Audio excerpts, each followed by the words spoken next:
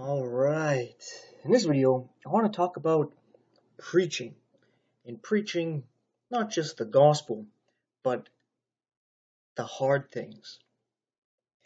You see, I was uh, hearing a story about someone who felt uncomfortable preaching about certain things. Uh, they wanted to, but they didn't want to preach out against something like homosexuality or transgenderism because they thought that would push more people away than bring people in. And that should not be your focus. Your focus should be on just preaching and preaching the truth and allowing the people to decide whether they're going to accept it or not. Whether they accept it or not is not on you. Even if you present the truth in a way that is harsh, rude, inconsiderate, in your face, like what we normally wouldn't do, but you do it anyway, it's still on them whether they accept it or reject it, right? So you don't need to focus on that. Uh, for a couple examples I'll give you is looking at someone like Joel Osteen, Right? He, he doesn't really like to preach on the hard stuff about oh, you, you only can go through Jesus Christ and doesn't really talk hard about homosexuality and transgenderism and all that stuff. It's basically just preaching God loves you and he wants you to be prosperous. That's like the main focus of his message, telling people want to hear. And he has a huge church. I think the biggest one, at least in the States, right? And that's like a so what thing, right? He's not giving them the truth. So who cares that he has so many people listening to him? What's the point of him not giving them the truth and having all of them there? And then you look at someone like Jeremiah, the one that people call chosen of God but rejected of men, the, the weeping prophet. He just preached the truth and he didn't get anybody to follow him. He even had God tell him to uh, write out a scroll and he gave it to the king of Israel, and he just threw it in the fire. So he just wasn't accepted, right? But he was giving the people the truth, but he didn't get anybody to accept the truth, not a one of them, right? So the example you can learn from these two people is that Oh yeah, you can get a lot of people to follow you when you, you blow smoke up their ass and tell them what they want to hear. But so what? How is that benefiting anybody? It's not. But if you tell them the truth, hey, they might walk away, but you might have planted some seeds or did some watering, given some light that later on that becomes actually fruitful. That actually becomes beneficial, even if they end up walking away they might, might remember some of the things you said. They think about those things and they start asking questions, whether they asking other people the questions, they start looking it up on on their own library, internet, or they start praying to God about it. And then that leads them to the gospel, leads them to the truth, right? So even though they rejected you, you don't know the effect that you might have actually had on anybody who's listening or you had an effect on somebody who's listening, they reject you, but they repeat what you said because it irritated them. And they repeat what you said to their family or to their friends because they were just complaining about you. And yeah, this guy who was saying all this stuff I didn't like. And through them, you planted seeds to a whole other group of people that you weren't even talking to in the first place. Right? You just don't know how it's all going to work out. Just giving you some examples. Uh, God just does his thing. And if you feel convicted to say something, to do something, you ought to do it. If there's some fear in it, it's probably because God is wanting you to do it. You just feel uncomfortable about it, which I understand. I felt that. I know a lot of people probably feel that. But what you got to do in a moment like that is pray to God. Like, hey, I need help. Uh, open a door for me here because I don't know how to engage in this. And even admit the truth to Him. I'm afraid I'm afraid to say something. I'm afraid of the backlash. I know I ought to say something, but I don't want to deal with how I think people are going to react. and then take it from there. Sometimes the anxiety will go away. Sometimes somebody will go, Hey, you praying? And all of a sudden you open the door and just start talking about God, which leads to you doing what you were originally convicted to do. Right? So you no, don't worry about those kind of things, right? Uh, such as people not actually coming to the gospel because you said things they didn't like. No, they weren't going to come to it anyway, right? They just want you to say things that they want to hear. We see that throughout the scriptures where Israel is upset about certain prophets because they don't, those prophets don't tell them what they want to hear. They tell them horrible things, right? The truth. They don't like it. So what? It's the truth. Are you supposed to not say the truth just because it upsets people? So I want to show you a couple examples here about it not being a big deal. Jeremiah was one, but here Jesus in Luke chapter 4, verses 16 through 21, he's preaching to the people here. Check this out. Uh, verse 16 it says, And he came to Nazareth, where he had been brought up, and as his custom was, he went into the synagogue on the Sabbath day and stood up for to read. And there was delivered unto him a, the book of the prophet Isaiah. I know that says with an E, but that's the New Testament rendering of Isaiah. And when he had opened the book, he found the place where it was written, The Spirit of the Lord is upon me, because he hath anointed me to preach the gospel to the poor. He hath sent me to heal the brokenhearted, to preach deliverance unto the captives, and recovering of sight to the blind, to set at liberty them that are bruised, to preach the acceptable year of the Lord. And in this verse, I believe is Isaiah 41, if I remember correctly, it doesn't end right there. It talks about uh, the wrath of God coming. But Jesus is talking about what he's doing now. So he stopped there abruptly, and it says, and he closed the book and he gave it to the minister and sat down. So you see here, he just read that short part because the second part is not what he's here to do at the moment, right? He goes on to say, And the eyes of all them that were in the synagogue were fastened on him. And he began to say unto them, This day is this scripture fulfilled in your ears. Right there, Jesus saying, I'm the Messiah. This was speaking about me. Here I am. Right? So as soon as he starts his ministry, he's already saying, Hey, I'm the Messiah, right from the beginning. The problem is people didn't believe. And what happens? they all like get out of here and they start driving him out of the temple or the synagogue i should say my bad uh, synagogue is just a gathering of people it's not a building it's not the temple uh, just to clarify uh, but they uh, start uh, pushing him out and uh, i am not sure if this is where it talks about it let's see.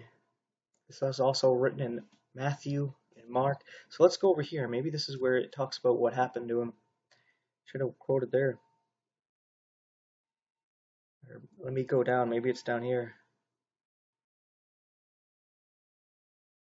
No, this is not where it says it. So let's go over here to Matthew 2:19.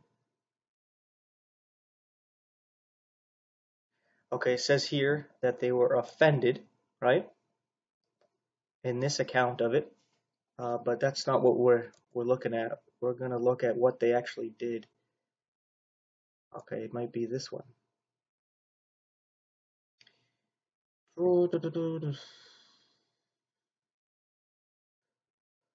Again, okay, that's talking about them being offended. Is this the same passage? Oh, okay, I clicked on two different ones here. My bad. Or the same one. Okay, I guess it's going to Mark then. Sorry for, about all this. Let's go to Mark. Um, I don't remember what verses it was. It's 1 through 6.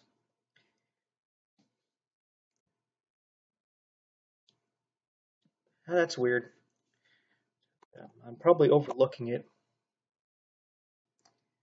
But in this story, they get upset with him. They drive him out. Oh, yeah, it is right here. Verse 28, it says in Luke 4 In all of the city, and I'm sorry, and all of they in the synagogue, when they heard these things, were filled with wrath. Right? They didn't like that he said that he's the Messiah, but it's the truth and rose up and thrust him out of the city and led him onto the brow of the hill whereon the city was built, that they might cast him down headlong. So they wanted to throw him over a cliff here. But he, passing through the midst of them, went his way. So sorry that I brought you through all these different ones. It was right there all along. My bad. But uh, yeah, so they wanted to kill him because of what he said, but Jesus still said it, right?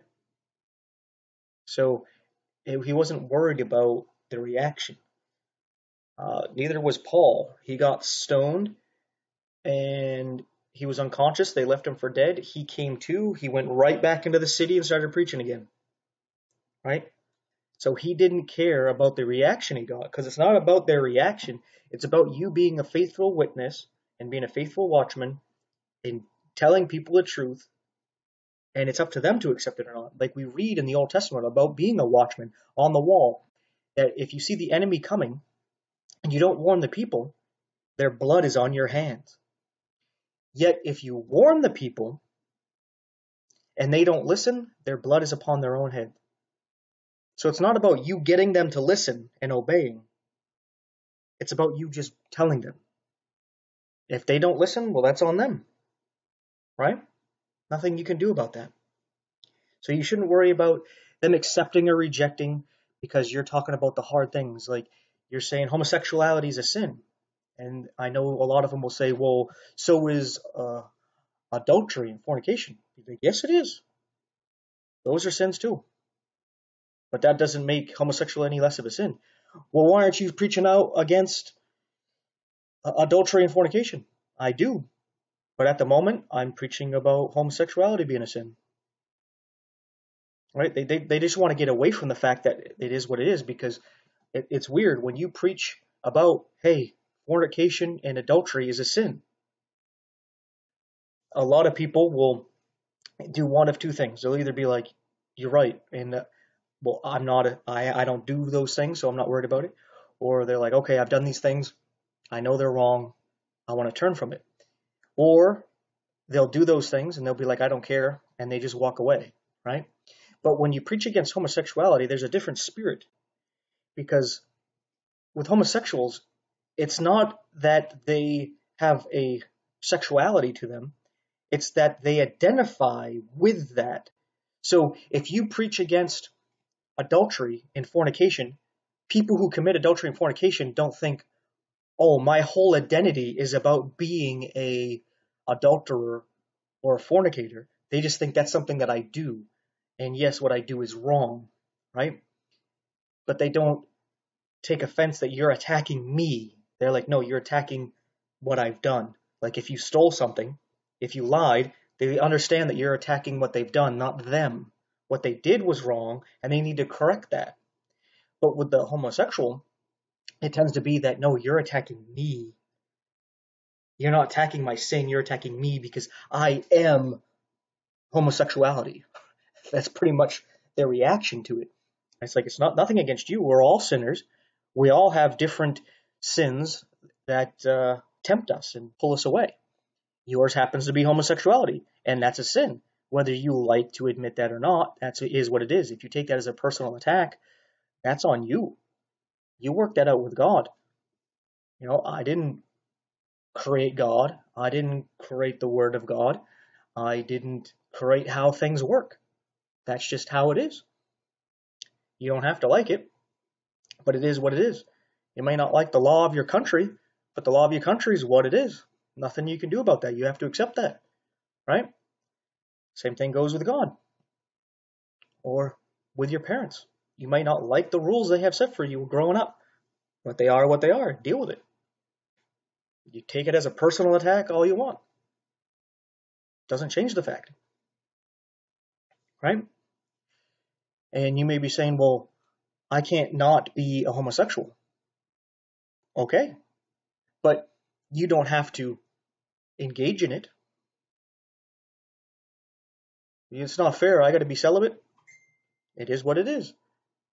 Just like there's guys who want to be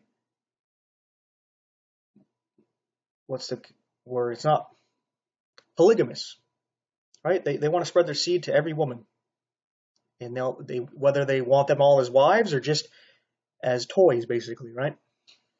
They naturally desire to do that. They don't want to be married and be one to one woman. But if they want to please God, they have to go against their nature and what they desire to do. I mean, a lot of women now, they don't want to get married either. And they just want to fool around. But they have to deny themselves and accept what God has put forth. We all have to do that. Right? And to take it as, oh, you're, picking on homosexuals, it's just you not wanting to uh, deal with the issue and you want the person to shut up about it. Right? You talk about transgenderism, and it's the same kind of issue, right? Same thing. It's like, why don't you talk to men and women about this? Why is it always about uh, children? Your children that are very impressionable. You're you're trying to get say that they they're really the opposite gender, and you give them life altering surgeries that can't be changed. They can't be reversed. So why would you do that? Why don't you wait for them to be an adult?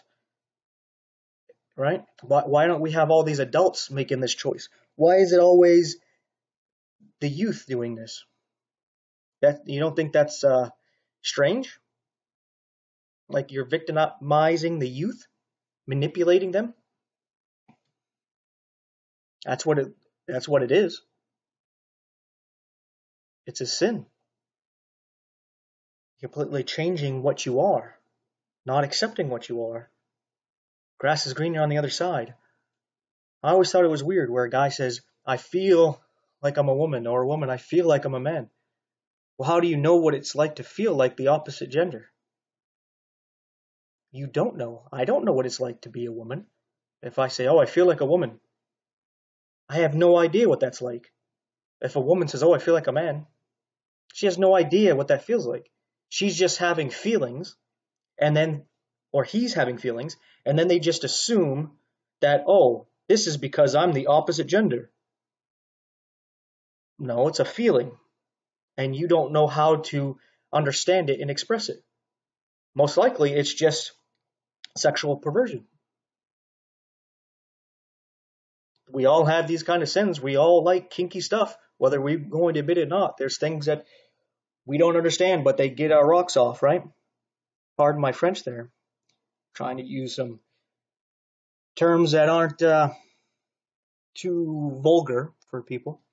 But, you know, we get our jollies from weird things, if we're being honest. Uh, maybe some of us grew up Christian and we never did anything. So maybe that's not something that uh, you have to worry about. But for people who live in the world, in the world today, and you, you've lived the party life, doing the drinking and the drugs, you've probably got into weird things. You got into pornography. It probably got out of hand and you started watching some weird things, right? So now, weird things get you going. We all have to deal with that. Yes, sin, bad, wrong. And you got to deal with that. It's not, oh, we're it's picking on homosexuals. No, it's just saying, hey, that's a sin. What's really going on is you just want people to be quiet about it, right? And the same thing with uh, transgenderism. They don't want you defending the youth. Their parents aren't going to do it, so they're like, "You shut up. Let us do this to the children." Well, what about all the people who had the transitions and they regret it and they commit suicide?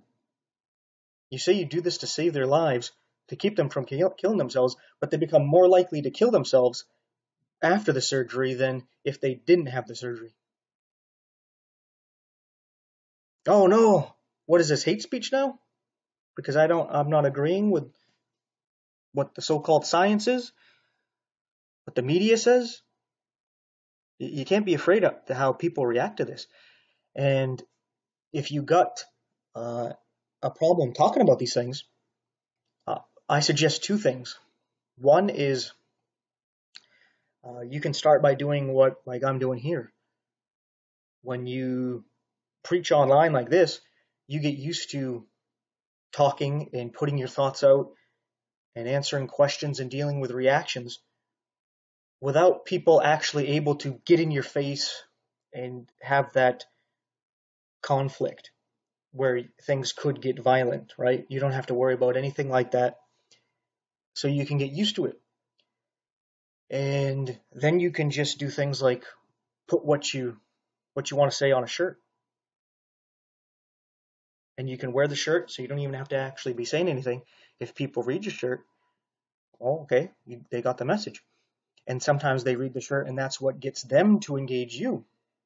And when somebody engages you, I find it to be easier than you trying to engage somebody to get into a conversation because a lot of times they're just like piss off. But if you get them to engage you, it opens the door. And now you can get into the conversation. And you don't have to hit them hard with things like I was saying in this video. Like, even if they are homosexual doing transgender stuff or whatever, you don't even have to talk about that. Even if it's a guy in a dress and makeup you're talking to, you don't even have to address the sin. Right? If it comes up, don't be afraid to talk about it. You're like, yeah, it's a sin. But show them that you're going to talk to them like a human being. Right? And, and get to know them. Try to. Right? Don't enable what they're doing, but at first, don't sit there and just point out their sin and condemn it either. Talk to them. And you can talk to them about sin in general and our sinful natures, that we naturally want to go against God. We want to do our own thing. And if you feel like it'd be like you're a perfect example of it, right? God had set up men and women to be together. And for men to be men and women to be women. And you're doing the opposite because you naturally want to go against God. You're an example of our rebellious nature. So you can tell them the truth without pointing the finger and condemning them to hell but getting them to think about it. So they might get upset that you're saying that, being like, hey, why are you getting mad at me? This is just how God set it up. I believe the Bible. I'm just sharing with you what the Bible says. I mean, if that bothers you, I mean, that bothers you. I mean, I'm not going to lie to you. Right? So you don't have to sit there and just slap people in the face with the truth, but you can't be afraid to have to do that either. But these kind of things can help you do just that. Uh, now, another example is Paul here. This is a pretty cool one here. Uh, I think everybody turned on him on this one, right? Because you got to understand that we're all basically preaching against idols because people make an idol out of uh, whether it's their church whether they're Christian or not, you know, out of their religion, their false god. That's kind of obvious.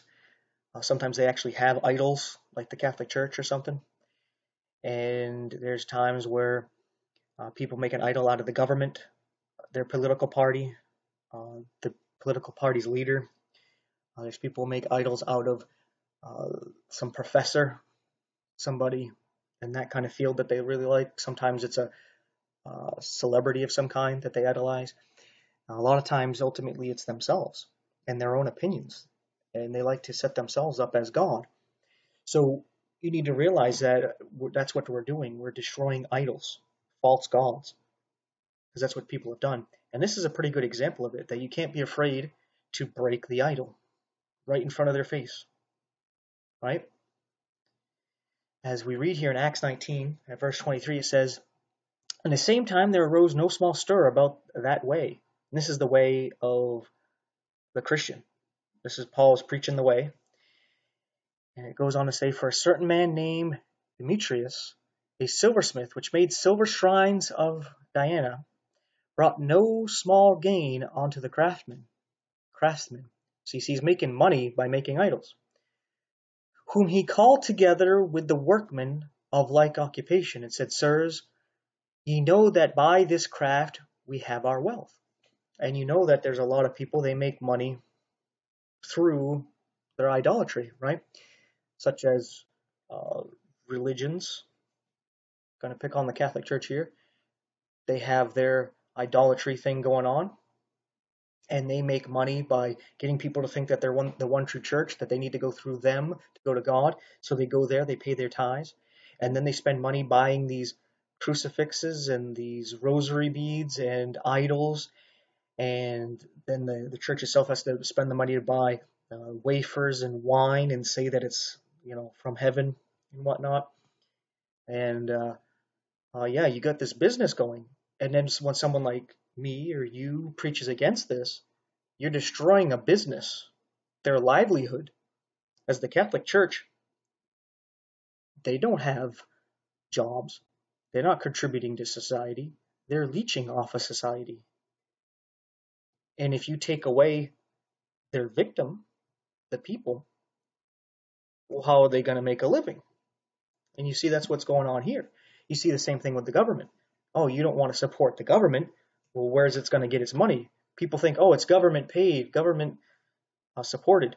Oh, that means you're doing it with your tax money, right? So if all the people turn away from that, the government collapses and then a lot of leeches off of society, well, they're flapping on the ground, drying up, right? Like like a, a leech. And then uh, a lot of times, even with these lesser things, like uh, the people who support Donald Trump, and they got um, his images that they're buying. I forgot what they call those things online. These special digital images. You can buy that, and you can buy other kind of merchandise. And then the same thing with Black Lives Matter and Antifa and transgender and the rainbow stuff. There's all kinds of merchandise that's made off of these things, right?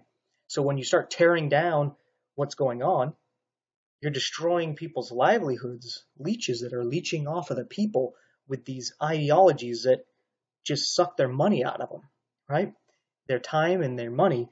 So the people who are leeching gonna get upset. That's what we see going on here.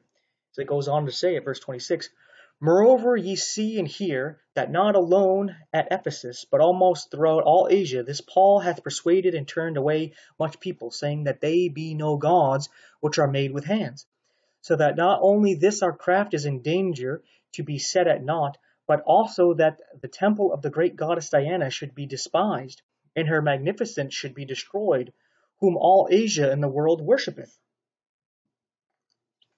Uh, today, this goddess is known as uh, the Virgin Mary. Not that the Virgin Mary is a pagan goddess, but they just took her name and put it on this pagan goddess. So it's kind of like Satan calling himself Jesus. It's not that Jesus is Satan and a pagan god, it's that they're giving Christian names and putting it on pagan deities. Right?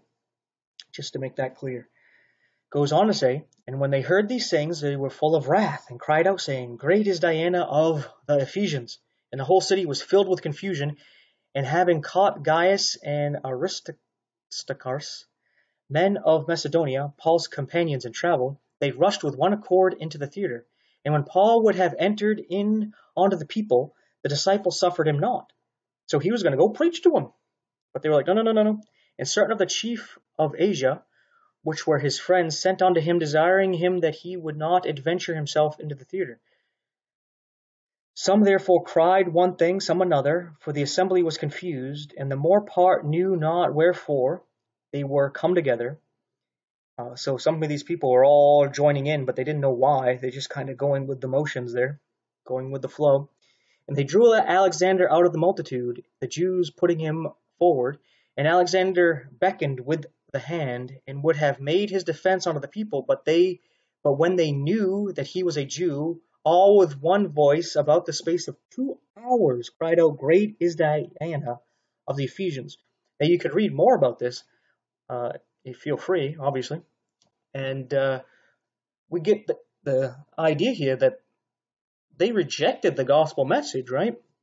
And for two hours they were chanting about their pagan deity. You can see like Catholics probably doing that about praying to Mary or something, right? She's a perpetual virgin and sinless and just going on and on and on, uh, trying to drown out the gospel, right?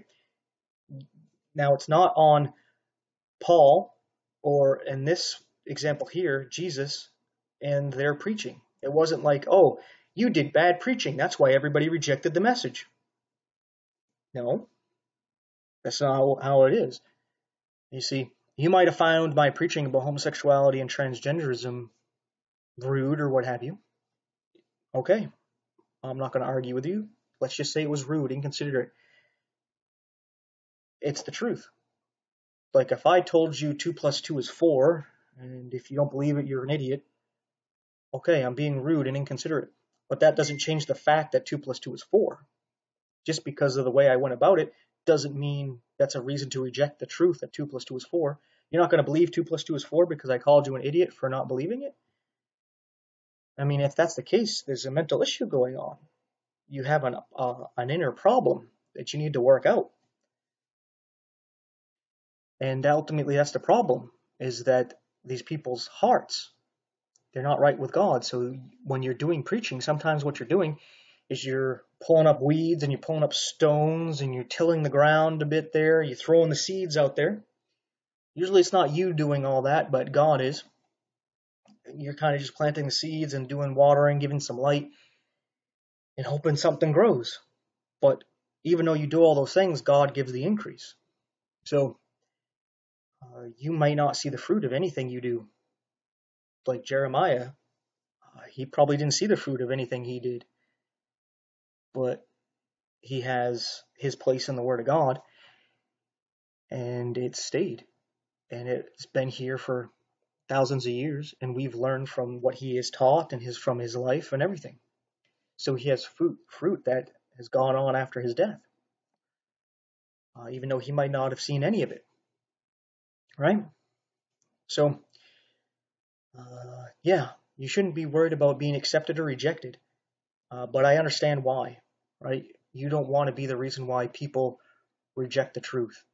And you don't want to talk to somebody just for them to yell at you and spit in your face, which seems to be for no reason, just because you're you're saying, "Hey, God says homosexuality is a sin." a rational person, if they didn't agree with you, they didn't believe you, would just ignore you. If they can, they would just walk away, right? But some people, we know, they're not rational. They're not reasonable people. And just because you say your belief, they'll they're going to say that you're trying to force it on them. But in reality, what they're saying is, I'm convicted by what you're saying, so you need to shut up.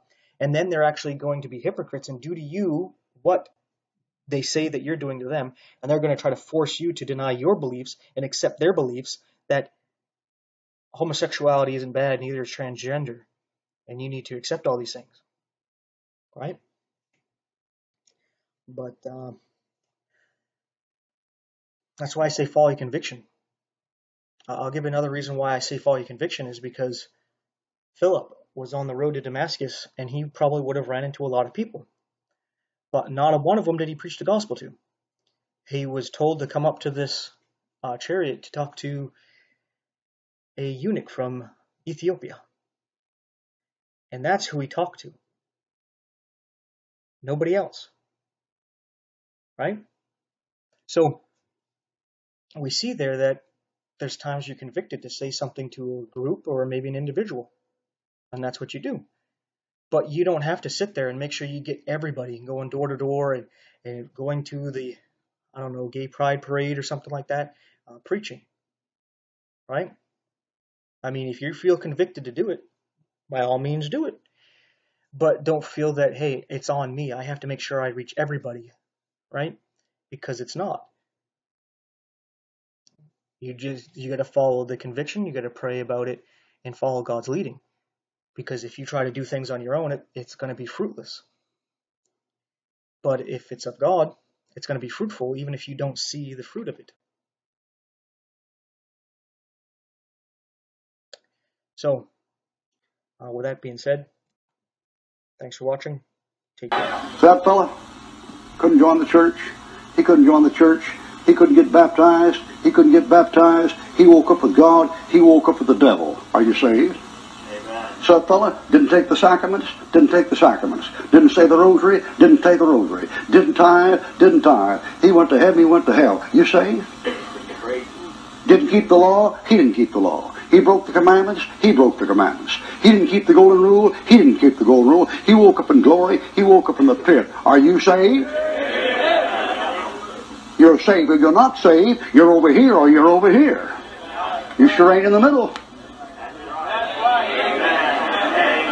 He said, Lord, remember me, thou comest thy kingdom. And Jesus turned to him and said, Verily I say unto thee, today shalt thou be saved. Just like that. You have been saved? Yeah. If you ever saved, you were saved like that.